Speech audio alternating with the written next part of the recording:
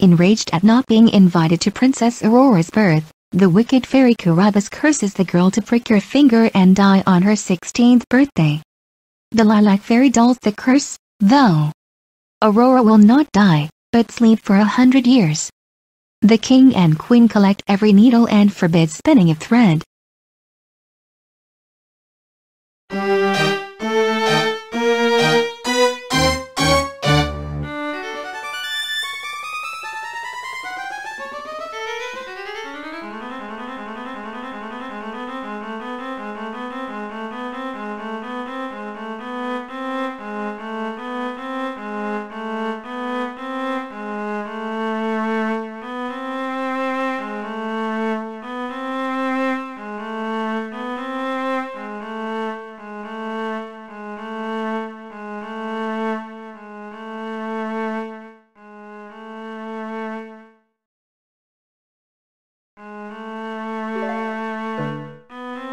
Música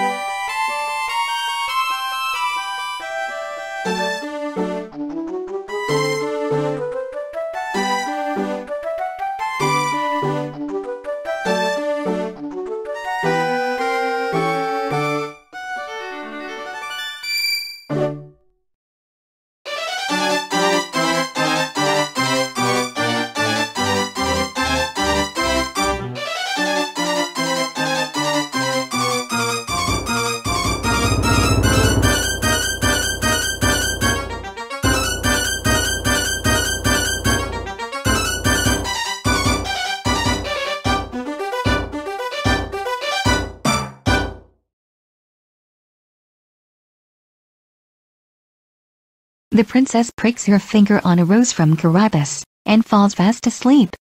With a spell, the lilac fairy lulls the castle to sleep until Aurora awakens. A hundred years pass. The lilac fairy shows a vision of Aurora to Prince Desire, who is hunting in the forest. Entranced by her beauty, he vows to find her. The prince and the lilac fairy reach the castle at last, defeat Carabosse, and find Princess Aurora.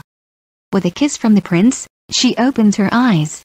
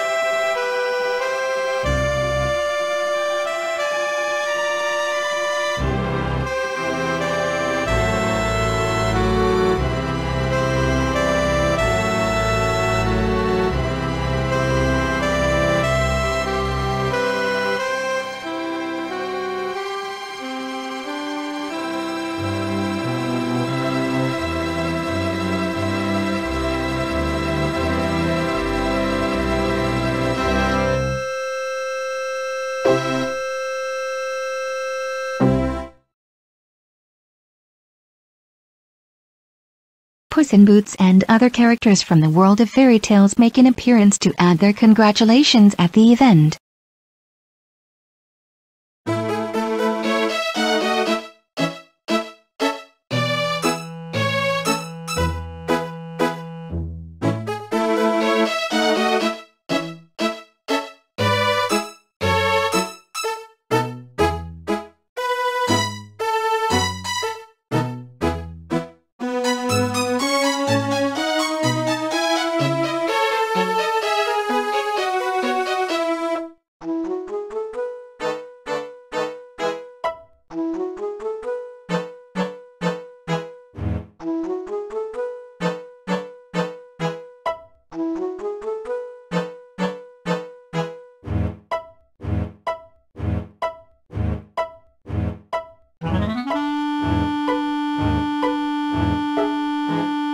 Mm-hmm.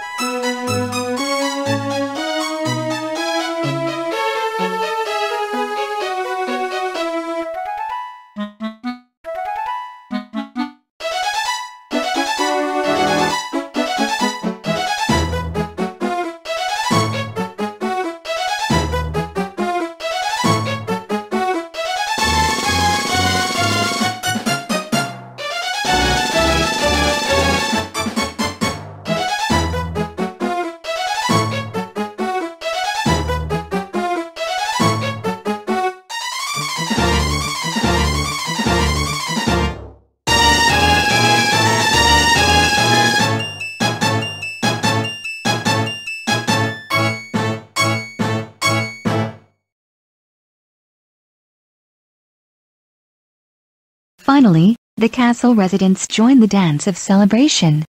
Their union blessed by the lilac fairy, Aurora and the prince live happily ever after.